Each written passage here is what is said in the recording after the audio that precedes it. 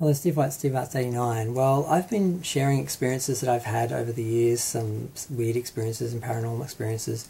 And um, I had a lot of experiences uh, when I moved into a house in um, Northcote. It was uh, the rear of 412 High Street. There was a store on the corner of High Street and McCutcheon Street. And there was a house built on the back of the store that faced into the street and faced the other houses. And um, I had a friend who was living there, and before I even moved in, uh, one of her friends had had a paranormal experience um, while I was moving in. I still moved in, and uh, not long after I was there, I had an experience myself, which is very strange.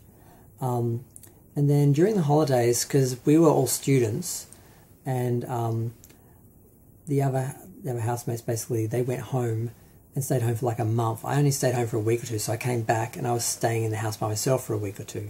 I didn't think that much of it when I when I you know stayed there. When I just went home and I was there, I didn't really think much about it. But it didn't take long before I had um, an experience. I was upstairs in my room, and uh, there was a middle room, and then the kitchen, and my room was above. Half of my room was above the kitchen, and the other half was above half of um, the, the dining room.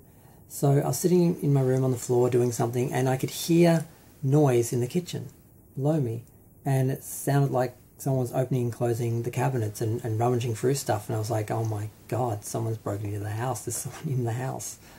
Um, and I just had this idea that some homeless person had broken in and they were looking through the cabinets for food or something. That's just, I thought, what do I do? Do I just stay up here and wait for them to go, or do I go down and see what's happening? I mean, I ended up going down. Um, so I creeped down the stairs and I went um, through the middle room and I could hear the, the things being moved around and the cabinets opening and that, and, and the whole time, and I thought, God, what am I? You know, who is it? What, what are they going to do? And I just sort of went into the kitchen, and there was no one there.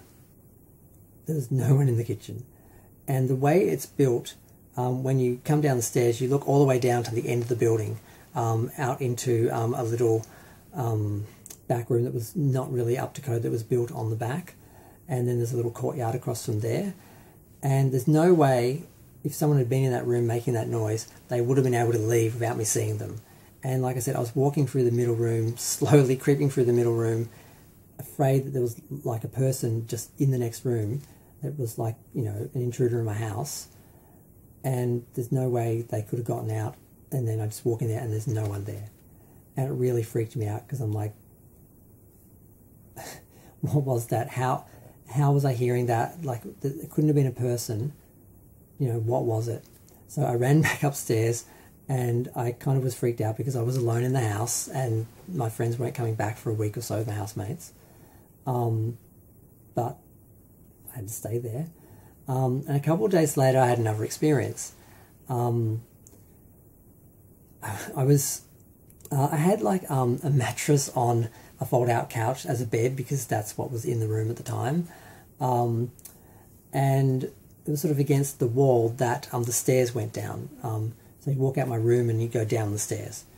Um, and the door locked and had a glass um, window pane in it, and all the doors had glass window panes and locked. And I was just sitting there, and um, should I have done this as two stories? I'm not sure. maybe I will. And I'll just leave that there. Feel free to share, like, comment, subscribe. Let me know what you think. I'll probably trim that off. Um, and it'll just, the video will end suddenly.